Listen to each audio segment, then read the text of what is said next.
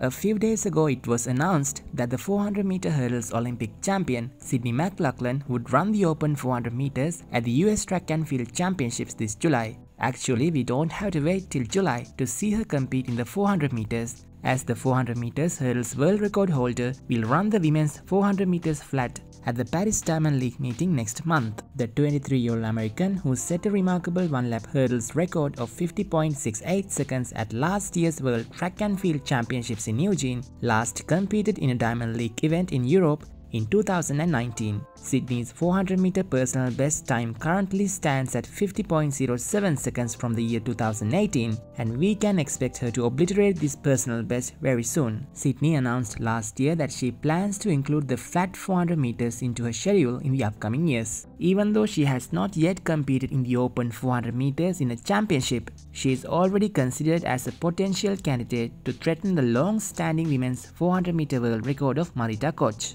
What event Sydney is going to take part at the 2023 World Championships is still not decided. The World Championships schedule unfortunately doesn't allow her to try a 400 meters and 400 meter hurdles double this year. Therefore, she will either compete in the 400 meters flat or 400 meters hurdles. The 400 meters field at the Paris Diamond League this year includes last year's fastest athlete Marileidy Paulino of Dominican Republic. Paulino became just the 12th woman in history to break the 49 second barrier last year at the Diamond League final in Zurich, where she won her first Diamond League trophy. Olympic and World Championship silver medalist should give Sydney McLaughlin a huge competition in Paris. How excited are you to see Sydney back in the Diamond League circuit?